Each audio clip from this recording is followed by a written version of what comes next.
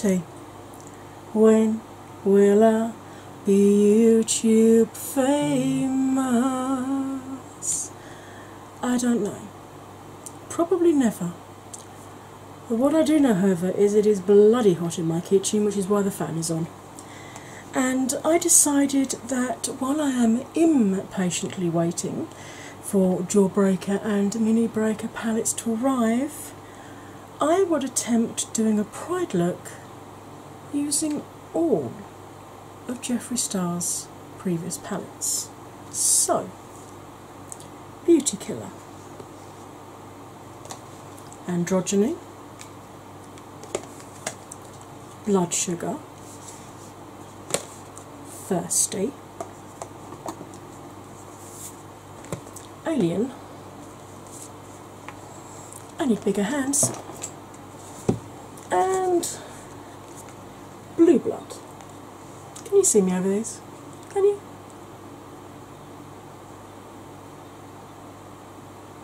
So, which shades did I use from which palettes?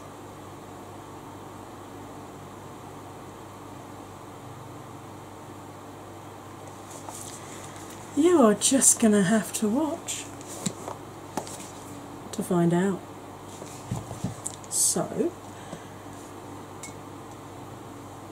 grab yourself a drink, grab yourself a snack, put your feet up, and enjoy. Hey, welcome back from the intro. Uh, fan is on because it is ridiculously hot, and if I don't have the fan on, my makeup will not stay on, regardless of having used my antiperspirant primer. I'm still going to need the addition of Le Fan. So, I decided while I'm waiting, rather impatiently, I should say, for my um, Jeffree Star Jawbreaker and Mini Breaker palettes to arrive, because I ordered mine from Beautylish because three instalments, you know, we're not all multimillionaires, Jeremy, you know. Jeff, Jeremy? Jeffree. Who the hell is Jeremy?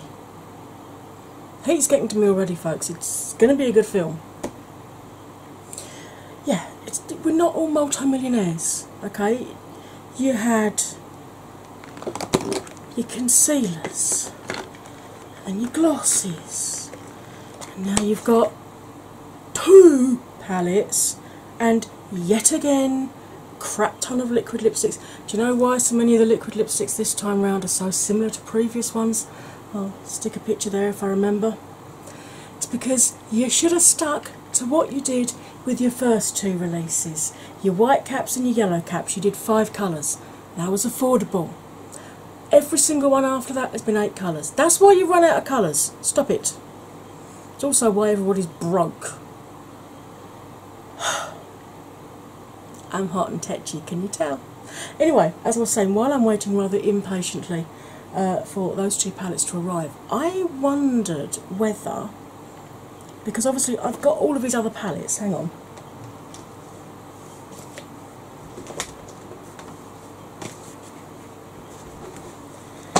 I have got all of them. So I wondered, taking one colour from each palette, could I do a pride look with it? So uh, that's that's what I'm going to attempt to do today. I genuinely have no idea how well this will work out. I've got a rough idea which shades I want to use, and I'm probably going to add. I'm going to use red, orange, yellow, green, blue, purple for the indigo, and then I'm going to probably add a pink in because then I can do four colours on each eye. That's my plan. How well it happens,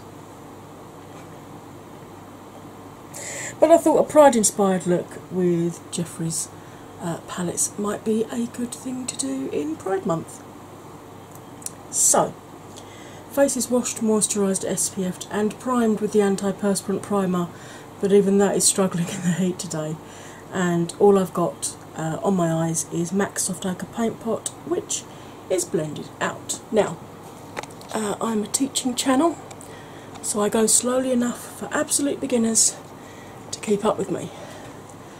I also have chronic pain, as you can see from the I only got two hours of sleep last night because it was hot, and my chronic pain does not like heat or cold or wet or damp or anything.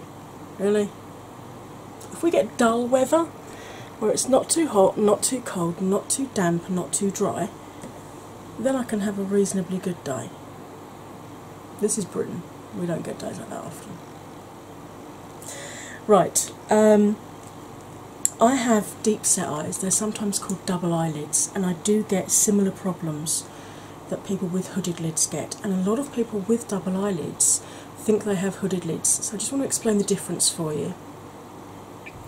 When I look straight ahead with my eyes open and brows relaxed, you can see all of my mobile lid. So I don't have hooded lids. If your static lid completely covers part or all of your mobile lid right down to the lash line, then you have either a half or a full hooded lid or what's known as a mono or an Asian eye. With double lids, if I cover my mobile lid this side and then close my eye, you can see I've got as much lid again that tucks back in away. And if I cover the static lid and close my eye, you can see again I've got lid that's going to rub against this lid. So I have exactly the same problems that people with hooded lids get. I get transference of shimmers onto the upper lid. Um, when I'm cutting my crease, I can't just follow my eyeball, I have to cut up onto the upper lid. And even when I use glitter glues, uh, glitter will not stay through the crease. I always get bald patches. Lovely. But all of my tutorials are therefore hooded lid friendly. Now, if you don't have a mobile lid, get a brush, something like this, and just sketch a line where you need your crease to fall. So you're creating a mobile lid on your static lid. Obviously, it's going to reduce the space between your crease and your brow, so just use slightly smaller brushes than me and you'll be fine. Okay, so I'm going to start off, um, listed in my description box below, there's a which brushes do I like. Better. taking my breath away. Um, and these are the ones, this is one of the ones from the uh, AliExpress set and this is eye crease brush number eight. So, obviously, starting with red, we're going to go into sugar. And yes, I've kept the case because it reminds me of an old VHS case, and I'm that old.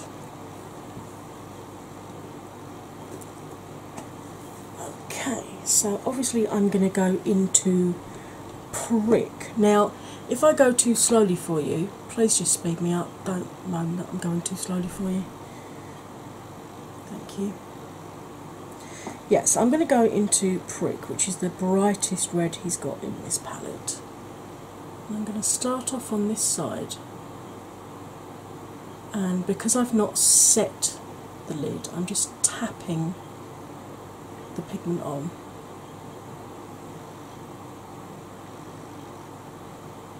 in an absolutely straight line, as you can see. Think I might need to add a darker red to that to get the effect that I want. So I'm going to add some cherry soda on top.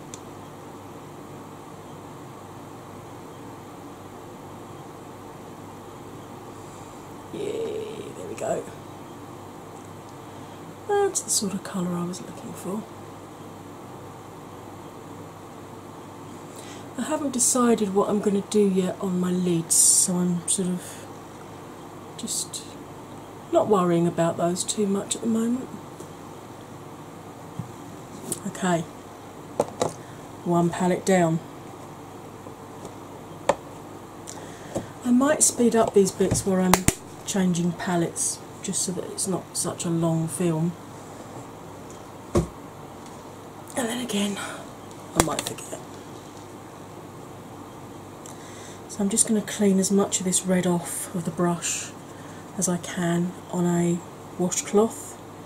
But blood sugar is a bugger for staining. I really should have done the red last, probably. Never mind.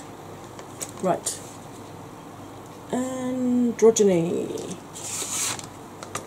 which is the pink crocodile skin effect. And I'm going to go into Charm, which is the orange there. So I'm going to pack my brush and bung some charm on. Ooh, this is nice.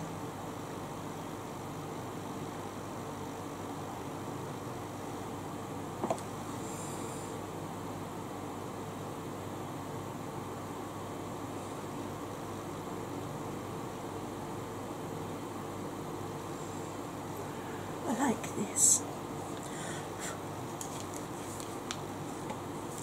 It is strange just doing one shade from a palette and then putting them all back down again.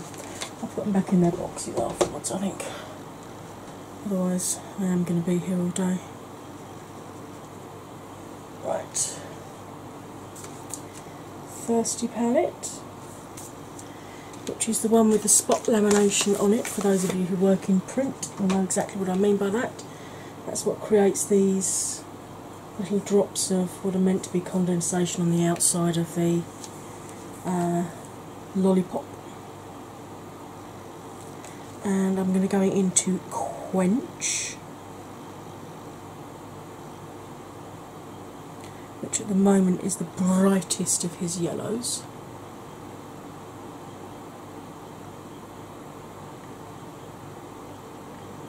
Probably could have done that red a little bit wider, couldn't I? Never mind. I shall know for the other eye. It's fine.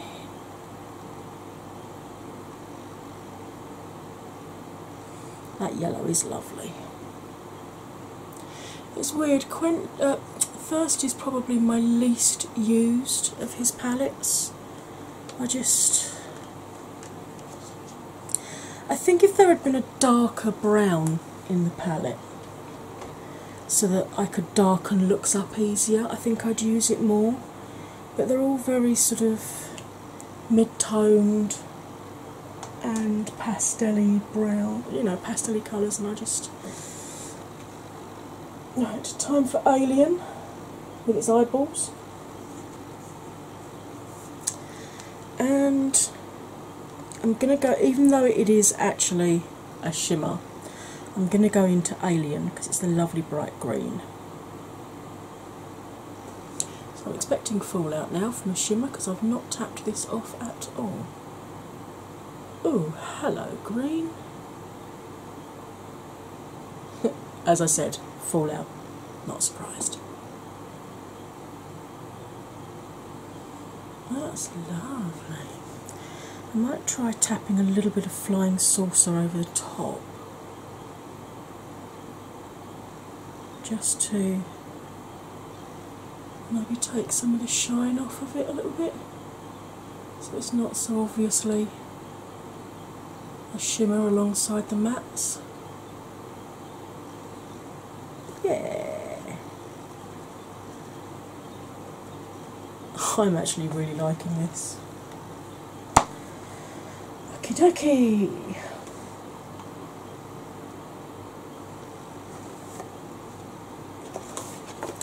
Time for blue.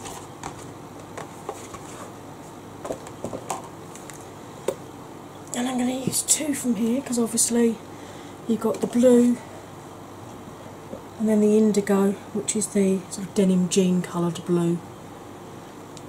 So I'm going to start off by going into the uh, eponymously named Blue Blood.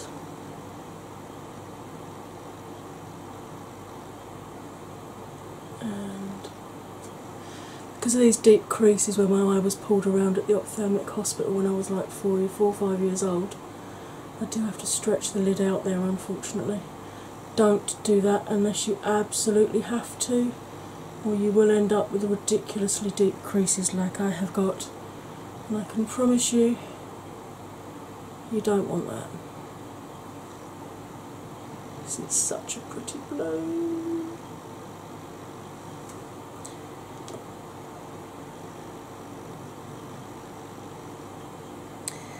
And then I'm going to go into a Blue Monday.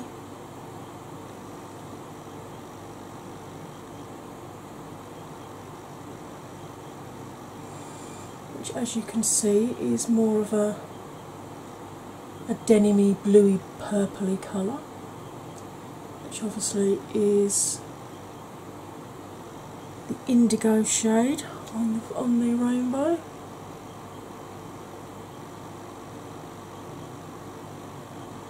Just pack that one and build it up a little bit. Because obviously the base is not set, because I wanted these colours to really punch.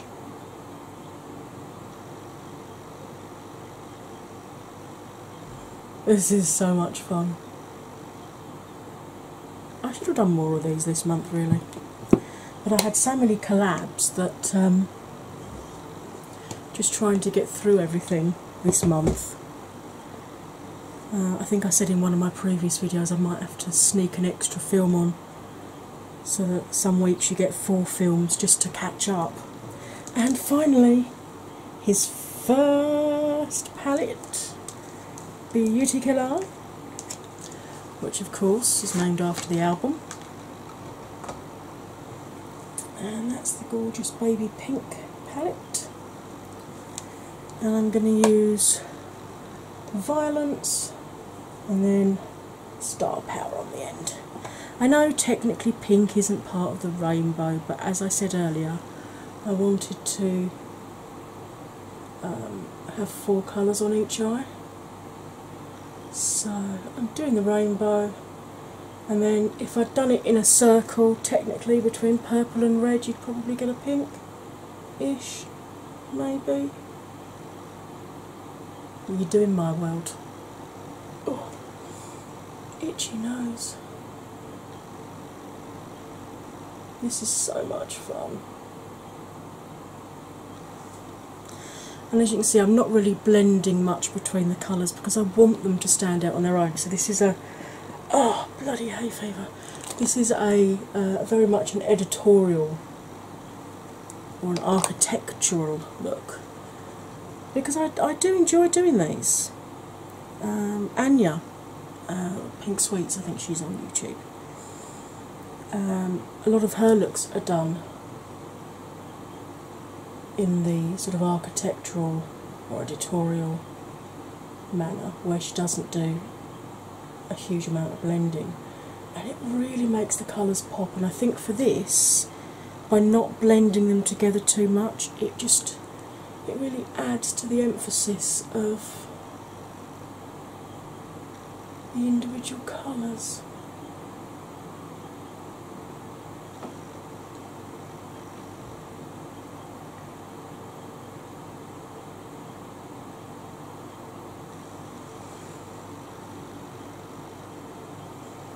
Oh, I like that, that's so pretty.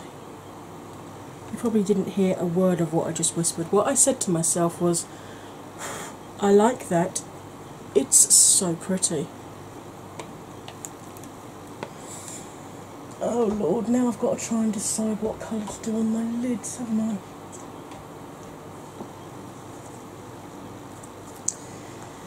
Um,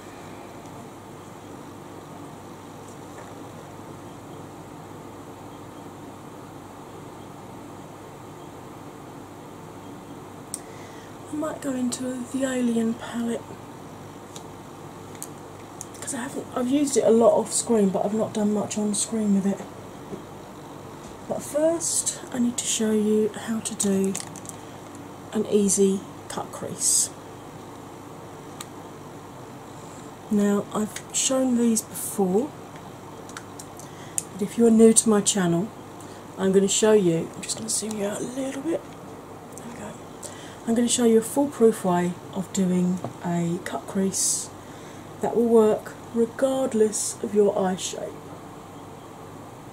Just going to tidy that bit up because that will fidget me otherwise when I'm editing.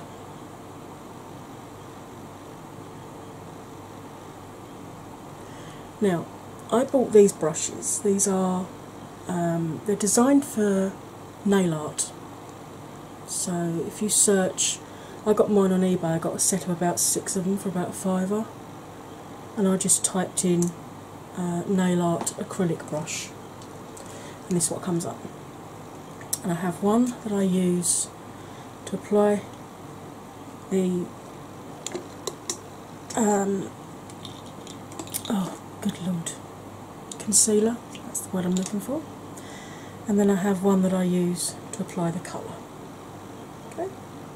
And what I like about these is that they come down so super super thin which is exactly what you want. So I'm going to grab my Tarte Shape Tape in 8B Porcelain Beige. And then I'm going to just load this brush up like so. And then I'm just going to let me just grab a little mirror so I can look down because obviously this is the eye that I see with, so I can't actually close it. I'm just going to go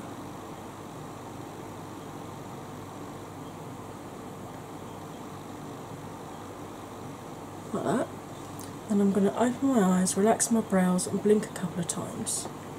And that shows you exactly how far up you need to cut your crease.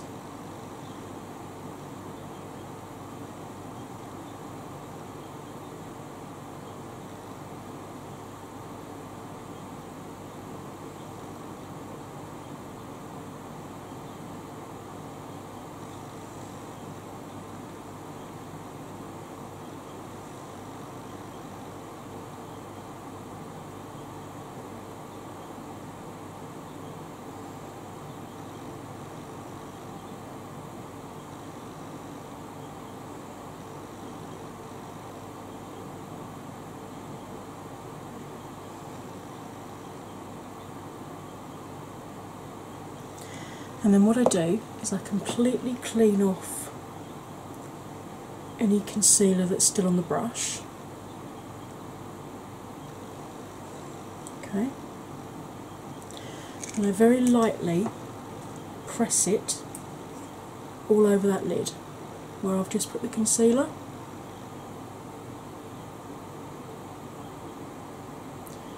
And what this does is it helps to pick up any excess concealer that could end up mixing with the shadow you're about to apply. See how much it's taken off?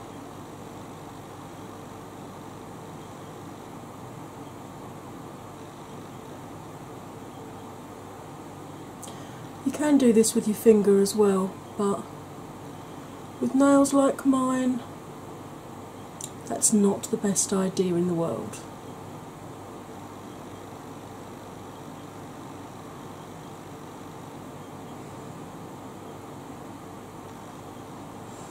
Okay. Now, if when you do this you're finding it's not transferring onto the upper lid for you, try using a little bit more or a little bit less concealer until you find out the right amount that you need for your lid to make it transfer up. Okay? So I'm going to do exactly the same thing again. I'm going to load the brush up.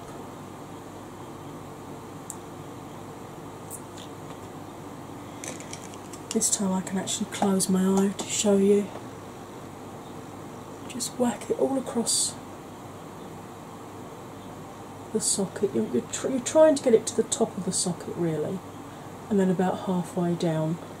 Open your eye, relax your brows, blink a few times, and then you can see where you need to take your concealer to. Oh, I got a little bit too much today. In fact, it's fair to say I got a little lot too much today.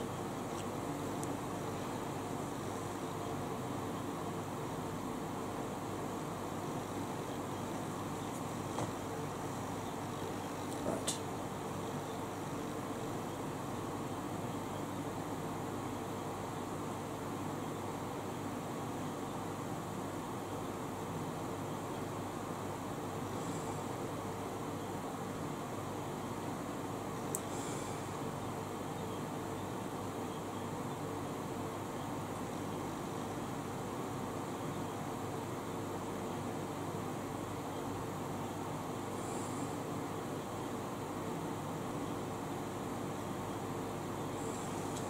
And that is the easy way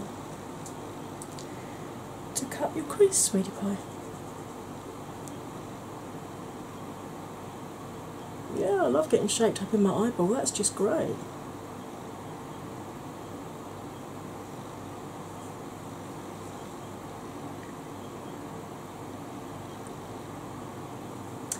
Don't overload your brush too much, folks.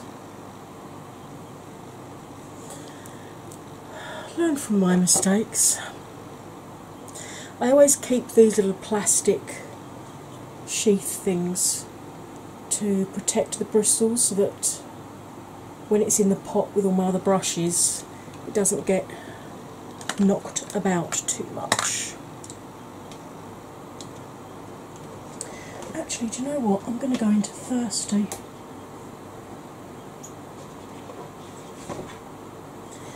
Because he tried a different formula for the shimmers in this. Now, this one and this one are great, the rest of them, not so much. So, I think I'm going to do gold shimmer this, yeah, gold shimmer this side and a silver shimmer that side. So, I'm going to go into lick.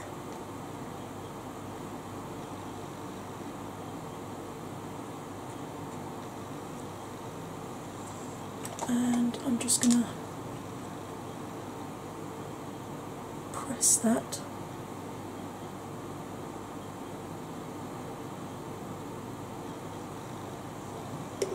Okay, it's not liking that brush, so let me grab. I've got a silicon brush here.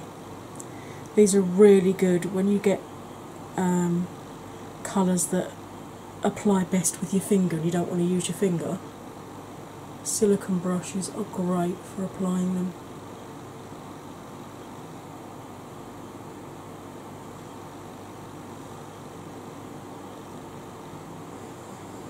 Yeah, the formula of these shimmers are bizarre. I really hope he never does this again. Because, as I said, there's only this one, which is Lick and Divine, that are any good. The other three are just. they perform awfully.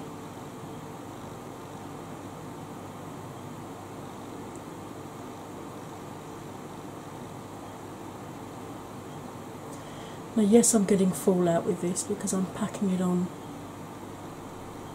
quite thickly, but I always do my base after I've done my eyes anyway, so it's really not an issue.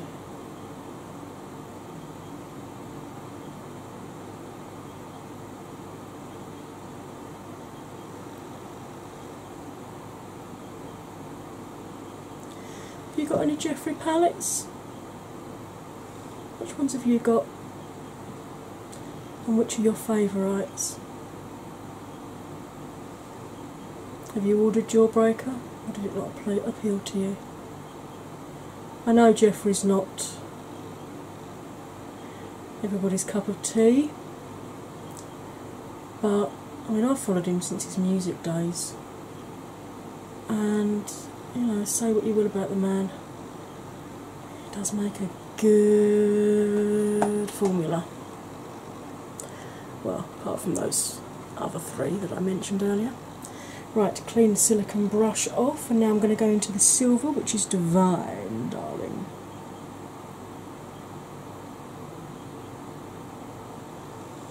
Before you ask, no, I don't know if it was named after the drag queen. I don't think it was. I'm going to stretch the lid out again because of those deep creases. Otherwise, I have the issue that the um, the shimmer sort of sits in the crease, and then as I move my eyes during the day, I get a shower of it coming down and end up with the either with eyeshadow in my eyes or multicoloured freckles, either of which not the look I'm going for. If you don't have a silicone brush, the sponge tip applicators that we all hate and throw away, they're actually really good for applying shimmers or um, loose pigments.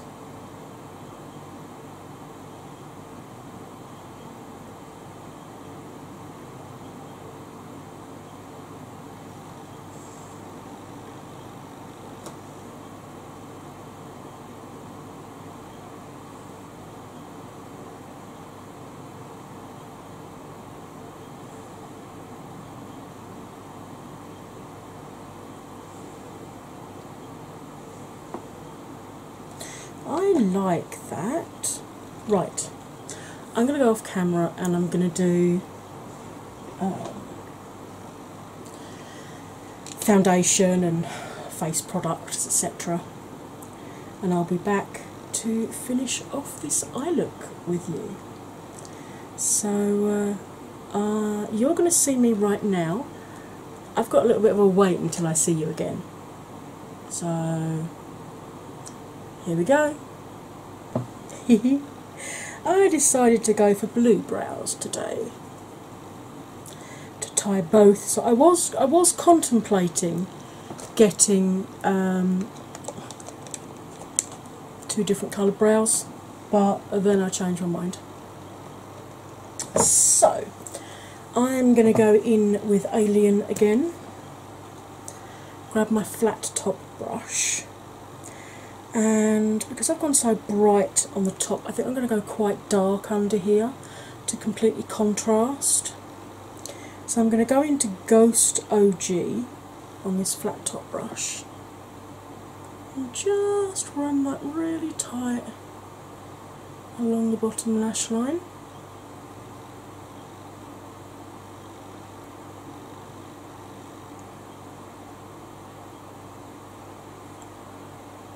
And obviously the same on this side.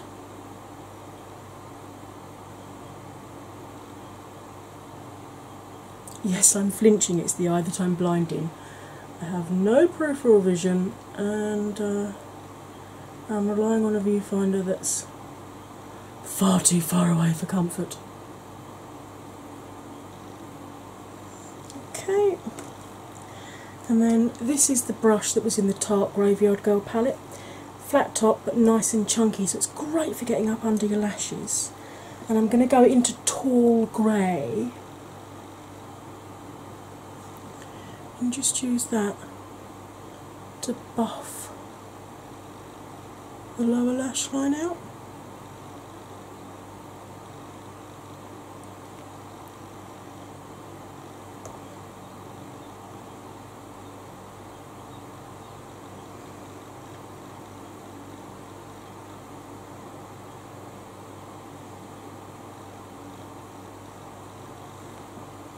Oh, I like that a lot.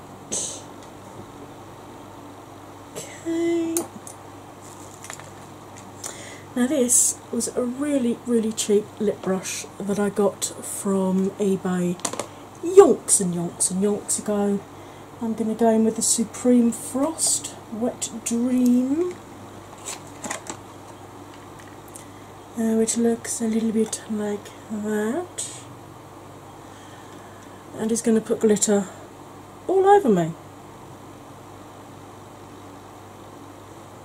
But it's a pride look, so glitter feels appropriate. Plus, I kind of like this anyway. I usually rock it at least once a week. Usually, when I'm doing the food shopping, which gets me some very odd looks, but you know. Come see, come ça, Rodney. Come see, come ça. Now, for my eye shape, I found that bringing it along under the tear duct and just blending it in with the colour that I've run under my eye is actually the most flattering shape for me. But obviously, you do what works best for your particular eye shape. Right, I'm going to pause you one last time while I put this highlight over the rest of my face, choose a lipstick, and do something with my hair and bung some mascara on, and I'll be back with the finished look. I'm back. I decided to go for a super bright lipstick. I went for the Colourpop Lippie Stix in shade Tickler because it just it felt right with this eye look. What can I say? Um, the mascara that I used was the Essence Lash Lash Princess with the green lid because I didn't want to hide the beautiful eye look by having my lashes too thick and voluminous, and that's more of a natural looking finish. So there you go. That is my Pride look using Jeffree's first six palettes. Six palettes. What do you think? Let me know in the uh, comments box below how you think I did. Right, as ever, YouTube are still deleting people, so please double check you're still subscribed. Uh, even if I'm still appearing in your news feed, you may still have been unsubscribed from me. I don't know what YouTube are up to at the moment, but they are definitely not making life easy for us smaller creators, that is for sure. Right. Now, all that remains for me to say, as ever, is you'll stay fabulous, and I'll see you next time. Bye for now.